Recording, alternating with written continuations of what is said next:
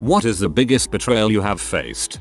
I looked up to a man who was a friend, a mentor, and like a father figure to me. He convinced me to leave my position and come work for him. He would get me promoted and help me achieve my goals. He needed me on his team, etc. I went to work for him and it was like Jekyll and Hyde. He insulted me, talked about me behind my back, used me as a scapegoat for the problems he was having with the rest of his staff, and in fact, completely derailed my reputation and career. It took me 4 years of busting my butt to get my reputation back. I still don't understand why. One of the worst experiences of my life. During my first marriage I inherited a wonderful stepdaughter. We had two daughters together and one Christmas my grandmother sent presents, but only for our little two, not my stepdaughter. I try to see the best in people, so I call my dad to see if she forgot. Well we all know when people are caught off guard, they blurt the truth. Apparently, she told my dad that if she had to buy gifts for all the stepkids they would be on the poorhouse. Mind you, this is her only step grandchild, and at the time she is at her vacation home in AZ. Now, I'm P. I box up the gifts and send them back to her with a letter saying family is family. It doesn't matter who gave birth to that child, she is my daughter. She just didn't get it. Still doesn't. And my dad for fear of getting written out of the will, sided with grandma. So we don't talk either. It's sad, but I stood my ground and for cause. I may not be married to the girl's dad anymore, but I still love her as my own. You are the best stepmom ever. All my friends in junior high stopped talking to me one day, claimed I was too odd to be their friend, proceeded to bully me through the rest of junior high. I was really quiet and shy. It was a rough few years. My girlfriend's mother abused her for 27 years before she sought help and got away. She has a 2 year old, not mine, and her mother still wants custody even though the court has told her no. The week leading up to Christmas her mom flooded her email box with emails asking her when she is going to kill herself, telling her that nobody likes her, suggesting methods to end her life, etc. It would take too long to type it all out, but it's worse than any horror movie. It may not be a betrayal in the traditional sense, but it is a betrayal for any mother to do this to their flesh and blood. Change all contact info and get her the frick out of her life. That is ridiculous. My girlfriend up and left me for my best friend one day. He lived with my three other good friends who didn't really go out of their way to help me get through it. So every night I was free I had to choose between wallowing alone or going to my friend's house and seeing them together. Frick that. New friend's brother. It'd buy you a drink. Or eight. My ex stepdad tried to have sex with me when I was 15. He was my father since I was 6 and suddenly decided he didn't want it to be anymore. When I told my mom, she confronted him and he denied everything done. She told me I was a liar and had invented it. I couldn't believe it. The feeling of not being safe in your own home and family was horrible. Without my mother watching my back, I felt so unsafe that I ran to another country just before my 16th birthday. I'm 29 now, and we've talked it out. I forgave her, and she left him many years after that, but it still hurts. That must have felt awful when your mom didn't take your side. I'm sorry that happened. My father cut me out of his life. The price of our relationship to him, $20,000. He always was a deadbeat but I never saw it. He was my dad. I always saw him through rose colored glasses I suppose. Parents were divorced when I was 5, my brother was 7, and my brother could see through his balls but I couldn't. At 10 my brother stopped visiting dad altogether and saw him maybe 5 times in total through his teenage adult life. Not me though I was always there for our dad when he was sad because he cheated on his GF. Spoiler alert. He cheated on all his GFs and she left him I gave him my cat to keep him company while I wasn't visiting. I was 11ish so this was the best I could do. I always defended him to my brother and mom but truth be told he always was a rather terrible person. I saw this as an adult but heck he's my dad I love him anyway. Brother kills himself and dad finds out he's entitled to 50% of my brother's estate. He was a 30 year old alcoholic. His home was his only asset and he also hadn't filed his taxes in 2 years. Dad tells me not to worry he won't be going after my mom for his 50% he will sign whatever needs to be signed and won't cause problems. Two weeks later mom calls me and says dad won't even sign the paper so she can't move on with dealing with the estate never mind signing away his half. I called him assuming there was some sort of misunderstanding. He proceeded to yell and scream at me that I was a money hungry bee just like my mother blah blah blah, completely unprovoked. This way he could justify taking the money and fricking off which is exactly what he did. I'm such an idiot when it comes to this stuff my husband had to explain it to me. I didn't need that kind of anger in me so a couple months later I did send him a message letting him know I've forgiven him for what he's done and I hope he's happy and well. Never heard back. Meanwhile I then had to explain to my two boys why they aren't seeing grandpa anymore either. This was our second Christmas with no brother or dad for me. It's still very crappy. TLDR. Dad took brother's blood money and told me to frick off. That is absolutely heartbreaking. Giving him your cat, however, is just painfully adorable.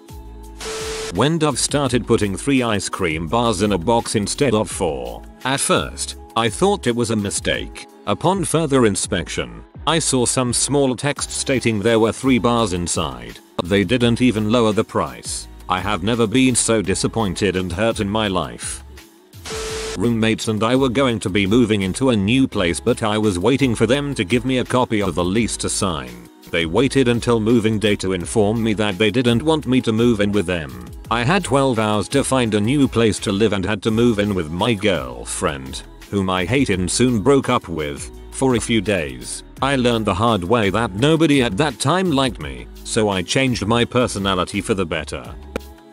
I was recruited by a well-known company who convinced me to move my family from the city we loved, sold my family home, gave up my well-established 17-year business and income, then worked like a dog for a year building up a failing competitor, invested nearly $250,000, turned them around, nearly doubled the business in a year, then got shown the door at the end of the year when it was time for my permanent contract. I've spent the past 5 years rebuilding nearly next door out of pure spite, spanking them daily at every chance I get. I've rebuilt the income I once had and now it can't be taken from me in any way by corporate shills. Hate can be one heck of an inspiration. I get over it a bit more every day, but watching the person they shoved in to take my place slowly lose what they took from me has been quite healing. Still, that day, that knife in the back, betrayal seems a tame word. Being called friends with benefit behind my back by my partner to one of his friend. Feels like I'm just a fool this while. My goddamn brain. Had my phone in my left hand and toilet paper on the other. Proceeded to wipe my butt with my phone and drop it in the toilet without realizing. I can't stop laughing. So I am having a party. A buddy of mine who had a habit of getting really pee off for small thing and taking revenge. Revenge was some petty bulls that you won't even know about. Like he spit in my wallet. So one night he gets pee. Chuckles goes and pops holes in all my condoms. That's bad. But he comes back the next day saying he forgot something and throws them away. As I am being told this story I also learned that another one of our friends at the time watched him do it. Watched him do it and did said nothing. I asked him why he didn't say anything and he said he didn't want Chuckles to mad at him. To me, that was the worst thing about the story and I told him so. That wasn't the only time he watched people freaking up in my place and did nothing. He is the type of person that can do no wrong.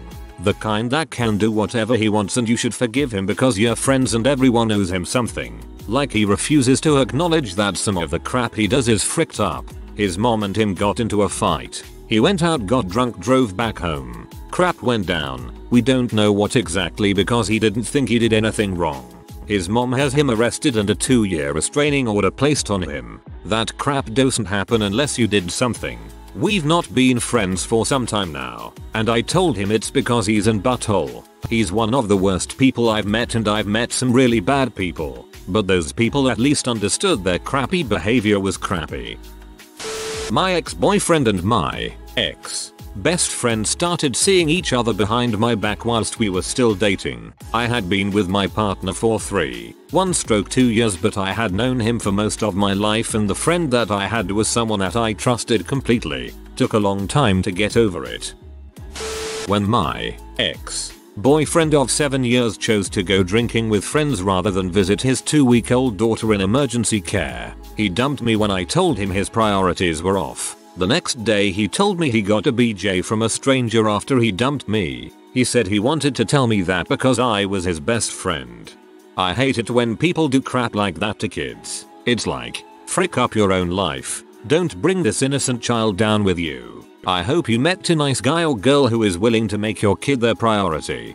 TL. DR. My father left me when I was an infant. He never paid child support. He is well established and his family does not know I exist. It is hitting me harder now than ever because I am now a father myself. My father left town when I was 6 months old. Even when he was around, I think he only saw me a handful of times. I did not even see a picture of him until I was 16. Not kidding. I did not even know what he looked like. My old boss went to high school with him, showed me his picture in the yearbook, looked up his contact information and everything for me. When I got the courage up to call, I spoke to my grandfather, my dad's dad. He told me that I had made a mistake by calling. I should never contact them ever again, and that I should go to heck. He, estranged grandfather, died a month later.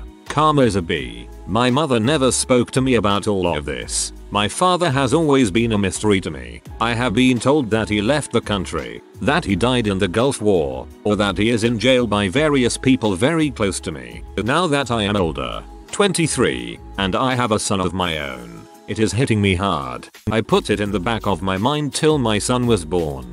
The day after he was born I spent 5 minutes on Google where I got his current address and phone number. He changed his name after I was born, but he was very easy to find. With the information acquired in that 5 minutes I found out that he has a wife and kids, living in an area where the median income is over $135,000, suburb of Seattle. I even got a Google Street View picture of his house. He has never paid child support. This man left me when I was a baby and was able completely rebuild his life. His family has no idea that I exist. I cannot begin to tell you how this has impacted my life. There is no worse betrayal than child abandonment, but it is not all bad. I had a child at 20, worked full time through college and graduated because I was driven to be a better man from my own experiences. I would never leave my child after what I have been through. I do not know if I should contact him via phone, or just show up at his front door and give his family the shock of their lives.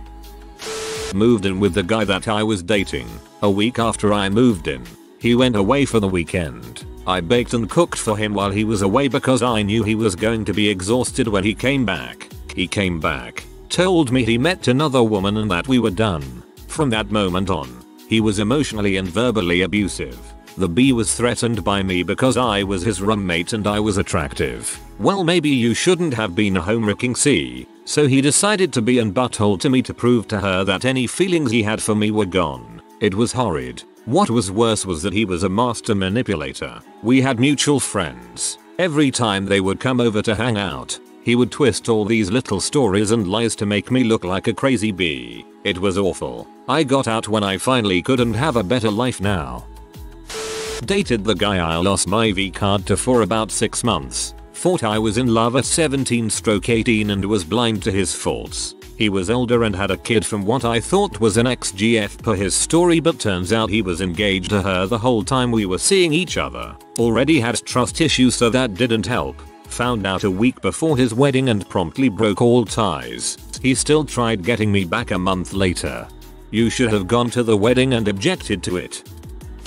Testicular torsion. My own freaking testicle twisted itself round twice cutting off the blood flow and causing me the most pain I've ever experienced. I'm so glad I went straight to hospital. I may be sat here with an inch long cut in my bowel sac, but I was only about an hour away from it becoming dead and having to be cut out. TL. Doctor. Testicular torsion. My testicle hung itself. Perhaps after years of not being used he decided to end it all and hang himself. Poor little guy. Okay so this story is kind of long. Growing up me and my once best friend were next door neighbors. We were the same age and attended the same private school. We were practically brothers. We used to have sleepovers and play video games together. Loved playing basketball too. We had a ton of shared experiences. He didn't have the best parents. His dad was an alcoholic and his mother was neglectful so we kind of brought him into our family. During family trips across states we would bring him along with us. He knew all my family members and relatives. We really treated him as a member of the family. We attended the same high school as well. I started dating the girl who was the love of my life in 10th grade. My friend accepted her and we had awesome times together. Senior year she got pregnant which came as a surprise to both of us. We hadn't really planned things out and now had to put our futures on hold. We both graduated. Few weeks later she gave birth. We were at an impasse. She agreed to put her future on hold to raise the child. I was scared about how I would support a child. I could barely take care of a goldfish and now I had the responsibility for providing for a family. My best friend told me he would help us out to take away some of the burden. I was really thankful to him. He sat me down and assured me he'd always be there for me and my GF. I couldn't afford to go to college while taking care of my GF and child so I decided to join the army. I was reassured by the fact that my best friend would be back home taking care of my GF and child. I figured the army was the best way I could support them while making decent money. During the period of service I was stationed in Afghanistan and saw some absolutely terrible things. Just awful things. People's dying, limbs being blown up. I wouldn't wish it on anyone. When I had a break in service I came home. I wanted to surprise my friend and GF. First I decided I would visit my friend's house. I walked to his house and knocked on his door. There was no answer for a long period of time. Finally 3 minutes he came to the door in a hurry. We hugged and I came inside. Conveniently my GF was there too who I was thrilled to see. I asked if we could all play some video games like we used to for old time's sake. My friend busted out the old 64 and we started playing Mario Party. I was winning until my best friend landed on Boo. He decided to steal my gold star from me putting me in last place. I couldn't believe he would do that to me after all the years of friendship we had. I had never felt more betrayed in my life. That moment was the end of our friendship. You freaking mother. Frick. My best friend made my girlfriend pregnant. We were 14 at the time. We go to a party. I get drunk. Falls asleep. When I wake up I don't remember anything from the day before. My GF doesn't answer my calls, and she avoids me at school. When I mention that I hardly remember anything from the party, he starts talking about how crazy and awesome it was. When I start talking to my GF again, she doesn't mention the party at all. I think 2 or 3 weeks later my GF doesn't show up at school. I ask her best friend. My GF's best friend was my best friend's girlfriend. Where she is and she says the dentist. When I a couple of days later ask my GF how it was at the dentist, she doesn't know what I am talking about. I then confront her best friend and ask where she really was. She says that she was pregnant with my baby. GHT I knew that my GF was going to the doctor to confirm that she was pregnant. With my baby I call her and wonder WTF is going on. She then says that we had sex on the party and it was my fault for not using a condom. I realized that she had to be lying because everyone said I passed out on the couch and laid there all night. I get that confirmed, and I asks around who it was. It turns out it's my best friend. Someone saw they kiss in a bedroom. I confront her and she admits it all but says that she got raped by my friend. She then starts crying. I call my friend and Jed admit it too, but he sweared he didn't rape her. It was all really weird. A few months later I moved away, nothing to do with any of this, and I haven't spoken to any of them since. Last I hears my friend was in jail. Holy 0.0. Currently I am going through the process of divorcing and going through criminal trials with my husband and father of my toddler. Three months ago, he beat me in front of her, put me in the hospital, then instead of giving an apology, bragged about it, then tried to get a restraining order on Emmy and take my daughter, claiming I'm the abusive one. I'm 115 pounds. He is a 210 pound trained cage fighter. At the same time, I learned he'd been having an affair with my best friend since before I met her. They formed a plan to have me meet her and become close so they could more easily have an affair. I let her live with us for 6 months. The state brought a lot of charges against him for what he did to me, and now they are both telling me she is testifying against me and they are both going to take my daughter from me and make my life heck. The evidence against him is astounding, and I can easily discredit her testimony. But still, the betrayal is beyond painful. The state is now trying to bring charges against her as well, and he's getting no less than 2 years in prison. Family court awarded me full custody, I was able to take my name off our lease and stick him with the eviction, and he has been arrested 3 times in the last 2 months in front of me, so karma is working out in my favor. My mom wasn't a part of my life from the age of 2 to pretty much now. My dad got custody when they divorced, pretty rare in 1964. My dad raised me, which was great, Best dad ever. Problem was his work took him away for long periods of time. Anywhere from 3 days to 3 months. So my grandma raised me and I spent lots of time at other relatives. It was very difficult growing up in the 60s without a mom. In a small town. Everyone else had a mom. As a kid, my mom would promise to show up to visit and then not do it. During childhood I honestly thought my parents didn't spend time with me because I wasn't good enough. Fast forward to last month when I ended a 19 month relationship because he was freaking around with his other girlfriend of 4 years who's married. The whole time, he kept following me, calling me, texting me, threatened to kill me, keyed my car, etc. Got a stalking protective order. He violated it several times.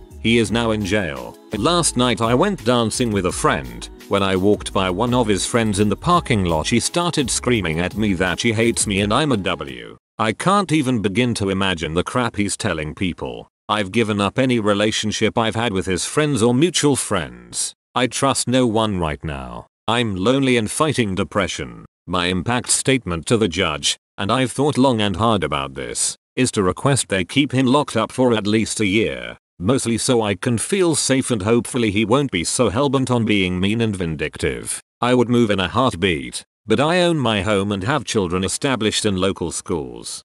I understand being established, but do what you have to do to protect yourself. Your kids deserve a parent who doesn't live in fear or have depression anxiety because of some lunatic. Do what you need to do for yourself.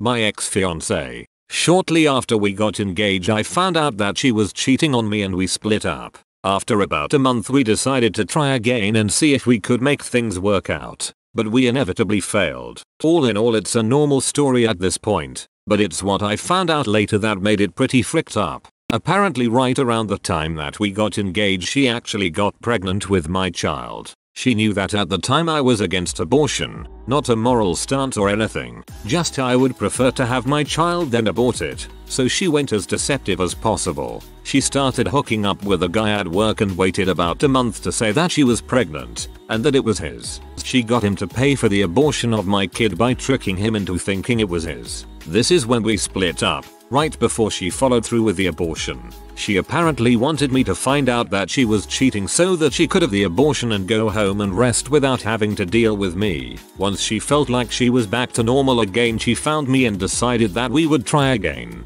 This was the month that we were split up. I found out about it later from her best friend. Normally I wouldn't put much into it but they were emails from my ex-fiance directly, talking about the whole thing and how it all went down. Her friend felt bad for me and decided that I deserved to know. Apparently I was the last one to find out, including my own cousin knowing before me. They all stayed her friend and visited her after the abortion and never said a word to me about it. Fuck, I am so sorry dude. If you are new to the channel, you can subscribe. I publish new videos every day. Until then, check another video.